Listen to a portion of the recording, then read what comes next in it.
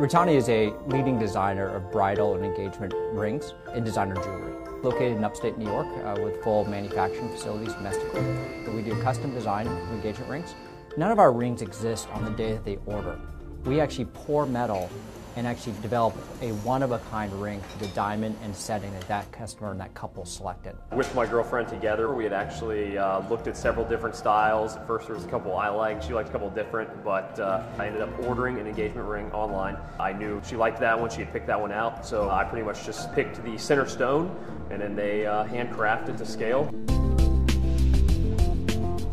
Once we receive an order, we channel into our, our, graphics department or reconfigure to any sort of customization that the consumer has asked for. We're then going to actually print that model onto a wax mold in 3D printing technology. We're going to take that wax mold and we're going to eventually make it into a rubber mold. We use the rubber mold to then produce a tree of different rings that we're producing that day that allows us to then create a unique reverse mold. We can then pour metal into it. From there, we're going to take that tree into our jewelers We'll initially remove them and break them apart. And we eventually take it to our bench jewelers that will set anywhere from a, a single solitaire upwards of over 200 side diamonds uh, to make some of our more innate rings. And then we give the customer a decision at the end. They can either ship it directly to their home or office or obligation free to a local jewelry store.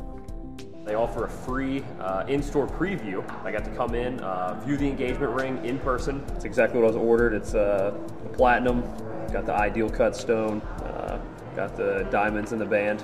It's exactly what you wanted. Some of the trends within the bridal industry today, round diamonds and round engagement rings is still the staple of the industry. The second most popular diamond shape has been a princess cut. Uh, that has shifted to a cushion cut, which is almost like a hybrid of a round and a square diamond and uh, that's definitely gained momentum uh, probably in the last four or five years. The average price point that we deal in, as much as we have a variety starting from 300 to multi-million dollar price points, the average product we ship is between five and seven thousand dollars. We're going to go on a little uh, bike ride through DC, and uh, if the opportune time uh, arises, uh, that'll be it. So hopefully it all works out.